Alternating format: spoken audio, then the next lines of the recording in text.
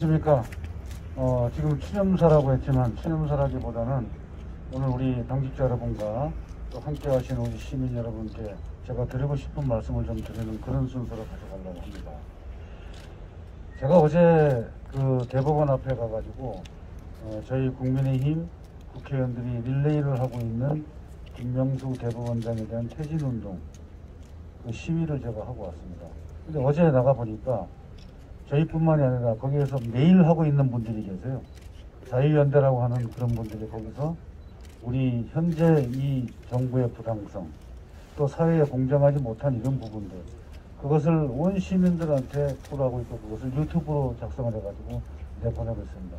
저도 어제 그 자리에 함께 했는데 저희가 이런 게 있습니다. 지난 제가 서울시장 보궐선거에 나와가지고 외치고 다녔듯이 우리는 그들이 한 말을 가지고 그대로 실천하기를 바라는 그런 마음으로 현재 활동을 하고 있고 저도 국회의원으로서 거기에 맞서서 얘기를 하고 있습니다.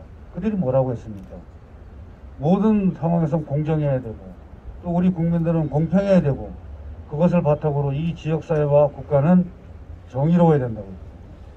근데 그 중에 단 하나도 지켜지는 게 없기 때문에 우리는 거기에 분노하는 겁니다.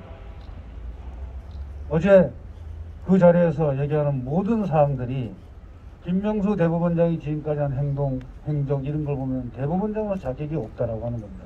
우리 국가가 상권 분립이라는 게 있습니까? 행정부가 있고 입법부가 있고 사법부가 있습니다. 사법부의 수장입니다. 그 사람이 정의롭지 못하면 모든 기틀 자체가 무너지는 거거든요. 거기에 한수 더 떠가지고 어저께 누굽니까? 김호수 대검찰청장 첫 출근하는 날이었거든요. 이것이 바로 이제 어떤 얘기인가 하면은 물론 현 정부가 인재가 없기도 합니다. 사람이 없습니다. 그러다 보니까 본인들이 요구하고 본인들이 자기의 말 잘 들을 사람이 있으면 그대로 강행하고 있거든요. 이게 이제 대표적으로 나타난 게 이번에 검찰총장하고 그 다음에 대법원장에 대한 임명 절차입니다.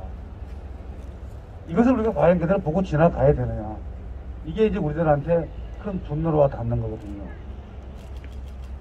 오늘 이 자리에서 우리가 이 호국 명령들에게 6월이 돼서 전례에 없던 우리 국민의힘이 오늘 이렇게 추모 행사를 하고 있습니다. 왜 그렇습니까? 이분들이 지난 1950년도 6월 20일 발생한 발발한 그 6.25 전쟁을 막아주지 않았으면 우리의 지금이 있을 수가 있겠습니까? 세계 경제 10대 강국에 들어가 있는 대한민국을 우리가 언검생진 생각이나 할 수 있겠습니까? 이분들이 우리나라를 지켜주셨고 우리 국민들을 지켜주셨기 때문에 오늘의 우리가 있는 거고 당연히 우리는 이분들의 그 공과 그 어를 기려야 되는 것은 너무나 당연한 사실입니다. 저는 그렇게 생각합니다. 우리 호국 영령들이 6.25 전쟁에서 이 나라를 지키고 백성을 지키려 했던 그 마음 그대로 지금 우리가 지켜야 되는 것은 자유민주주의입니다. 여러분 생각해 보십시오. 지금 우리나라 이게 지금 민주주의 국가입니까? 정말 우리는 국민을 위하고 있는 그런 국가입니까? 모든 것을 국민으로부터 뺏어가려고 하는 이 정부를 우리는 응징하지 못하고 있습니다. 앞으로 우리는 이와 같은 정신으로 우리 국민의 힘이 지탱해 나가면서 우리 정치를 받들어 나가겠습니다.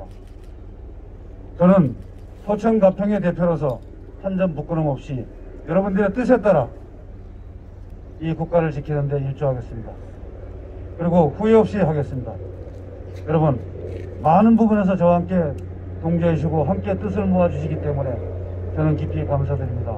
오늘 이 자리에 같이 하신 우리 시민 여러분, 또 당직자 여러분, 감사합니다. 그리고 힘 주십시오. 앞에서 열심히 하겠습니다. 고맙습니다.